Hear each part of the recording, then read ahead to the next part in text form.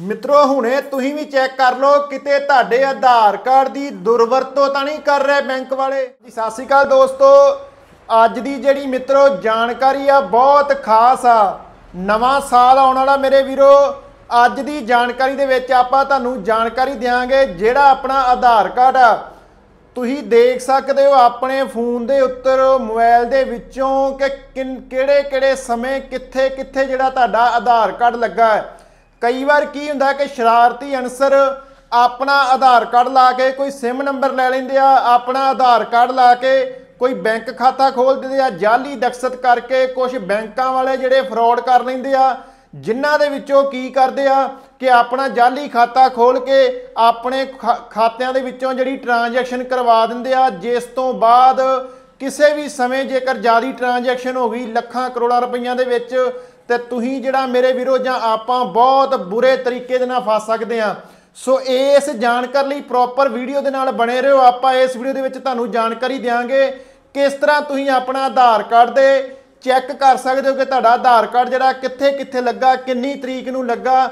ਛੋਟਾ ਜਿਹਾ ਕੰਮ ਆ ਮੇਰੇ ਵੀਰੋ, ਇਸ ਵੀਡੀਓ ਨਾਲ ਧਿਆਨ ਨਾਲ ਜੁੜੇ ਰਹੋ। ਆਓ ਆਪਾਂ ਤੁਹਾਨੂੰ ਜਾਣਕਾਰੀ ਦਿੰਨੇ ਆ ਸਭ ਤੋਂ ਪਹਿਲਾਂ ਮੇਰੇ ਵੀਰੋ, ਤੁਸੀਂ ਕੀ ਕਰਨਾ ਕਿ ਆਪਣੇ ਮੋਬਾਈਲ ਦੇ ਵਿੱਚ ਮਾਈ ਆਧਾਰ ਜਿਹੜੀ ਐਪਲੀਕੇਸ਼ਨ ਆ ਉਸ ਨੂੰ ਤੁਸੀਂ ਇੰਸਟਾਲ ਕਰ ਲੈਣਾ ਉਸ ਨੂੰ ਇੰਸਟਾਲ ਕਰਨ ਲੱਗੇ, ਜਦੋਂ ਤੁਸੀਂ ਇੰਸਟਾਲ ਕਰ ਲੋਗੇ, ਓਪਨ ਕਰੋਗੇ, ਉੱਥੇ ਆਪਣਾ ਆਧਾਰ ਕਾਰਡ ਤੁਹਾਡਾ ਮੰਗੂਗੀ, ਨਾਲ ਜਿਹੜਾ ਤੁਹਾਡਾ ਮੋਬਾਈਲ ਨੰਬਰ ਮੰਗੂਗਾ, ਜਿਹੜਾ ਤੁਹਾਡੇ ਆਧਾਰ ਕਾਰਡ ਨਾਲ ਅਟੈਚ ਆ, ਉੱਥੇ ਤੁਸੀਂ ਉਹ ਭਰ ਕੇ OTP ਭਰ ਕੇ ਉਸ ਨੂੰ ਜਿਹੜਾ ਓਪਨ ਕਰ ਲੈਣਾ ਜਦੋਂ ਤੁਸੀਂ ਉਸ ਨੂੰ ਓਪਨ ਕਰੋਗੇ, ਮੇਰੇ ਵੀਰੋ, ਮੈਂ ਨਾਲ ਨਾਲ ਸਕਰੀਨਸ਼ਾਟ ਲਾ ਦੂੰਗਾ, ਤਾਂ ਜੋ ਪ੍ਰੋਪਰ ਜਾਣਕਾਰੀ ਸਹੀ ਤਰੀਕੇ ਨਾਲ ਤੁਹਾਨੂੰ ਪਤਾ ਲੱਗਦੀ ਰਹੇ। ਜਦੋਂ ਤੁਸੀਂ ਉੱਥੇ ਆਪਣੀ ਉਸ ਐਪਲੀਕੇਸ਼ਨ ਨੂੰ ਓਪਨ ਕਰੋਗੇ, ਉੱਥੇ ਸਭ ਤੋਂ ਨੀਚੇ ਥੋੜਾ ਸਕਰੋਲ ਕਰਿਓ, ਨੀਚੇ ਇੱਕ ਆਪਸ਼ਨ ਆਊਗੀ ਮਾਈ ਆਧਾਰ। ਮਾਈ ਆਧਾਰ ਨੂੰ ਤੁਸੀਂ ਕਲਿੱਕ ਕਰ ਲੈਣਾ ਉੱਥੇ ਤੁਹਾਡਾ ਇੱਕ ਕੋਡ, ਚਾਰ ਅੱਖਰਾਂ ਦਾ ਕੋਡ ਮੰਗੂਗੀ, ਜਿਹੜਾ ਤੁਸੀਂ ਕ੍ਰੀਏਟ ਕਰ ਲੈਣਾ ਜੇਕਰ ਤੁਹਾਡਾ ਕ੍ਰੀਏਟ ਆ ਤੁਸੀਂ ਉੱਥੇ ਉਹ ਚਾਰ ਅੱਖਰਾਂ ਜਿਹੜਾ ਕੋਡ ਪ ਨਵਾਂ ਰੱਖ ਲੈਣਾ ਜੇ ਪੁਰਾਣਾ ਹੈਗਾ ਤੇ ਪੁਰਾਣਾ ਤੁਸੀਂ ਉੱਥੇ ਭਰ ਦੇਣਾ ਉਹ, ਉਸ ਕੋਡ ਨੂੰ ਤੁਸੀਂ ਭਰਨ ਤੋਂ ਬਾਅਦ ਥੋੜਾ ਜਿਹਾ ਸਕਰੋਲ ਕਰਿਓ। ਔਥ ਹਿਸਟਰੀ ਲਿਖਿਆ ਹੋਊਗਾ ਵੀਰੇ, ਮੈਂ ਨਾਲ ਨਾਲ ਸਕਰੀਨਸ਼ਾਟ ਲਾ ਦੂੰਗਾ ਤੁਹਾਨੂੰ ਪਤਾ ਲੱਗ ਜਾਊਗਾ।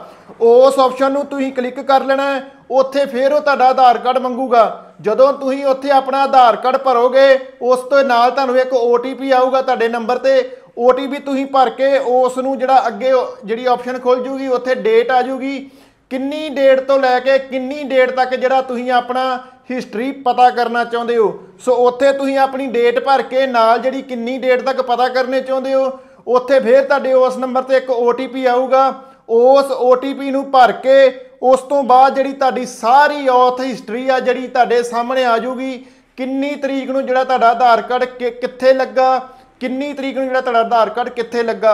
ਸੋ ਮੈਂ ਸਾਰੇ ਵੀਰਾਂ ਨੂੰ ਅਪੀਲ ਕਰਦਾ ਕਿ ਇਸ ਵੀਡੀਓ ਨੂੰ ਵੱਧ ਤੋਂ ਵੱਧ ਸ਼ੇਅਰ ਕਰ ਦਿਓ, ਘਰ ਘਰ ਤੱਕ ਪਹੁੰਚਾ ਦਿਓ, ਤਾਂ ਜੋ ਚੰਗੀ ਜਾਣਕਾਰੀ ਹਰ ਫੋਨ ਤੱਕ ਪਹੁੰਚ ਸਕੇ ਤੇ ਜਿਹੜੇ ਕਪੜੇ ਹੁੰਦੇ ਪੈਣੇ ਆਪਣੇ ਆਧਾਰ ਕਾਰਡਾਂ ਦੇ ਨਾਂ ਤੇ ਨਵੇਂ ਖਾਤੇ ਖੁੱਲ ਜਾਂਦੇ, ਬੈਂਕਾਂ ਵਾਲੇ ਖੋਲ ਲੈਂਦੇ ਜਾਂ ਕਈ ਤਰ੍ਹਾਂ ਦਾ ਜਿਹੜਾ ਆਪਣਾ ਆਧਾਰ ਕਾਰਡ ਗਲਤ ਵਰਤੋਂ ਹੁੰਦੀ ਆ, ਜਿਸ ਦੇ ਵਿੱਚ ਆਪਾਂ ਬੁਰੇ ਫਸ ਜਾਂਦੇ ਆ। ਸੋ ਇਸ ਚੀਜ਼ ਨੂੰ ਮੇਰੇ ਵੀਰੋ ਅਵੇਅਰਨੈਸ ਨੂੰ ਵੱਧ ਤੋਂ ਵੱਧ ਫੈਲਾਓ ਤਾਂ ਜੋ ਚੰਗੀ ਜਾਣਕਾਰੀ ਹਰ ਫੋਨ ਤੱਕ ਪਹੁੰਚ ਸਕੇ। ਬਹੁਤ ਬਹੁਤ ਧੰਨਵਾਦ ਜੀ। ਥੈਂਕਸ ਫॉर ਵਾਚਿੰਗ ਸਤਿ ਸ਼੍ਰੀ ਅਕਾਲ ਜੀ।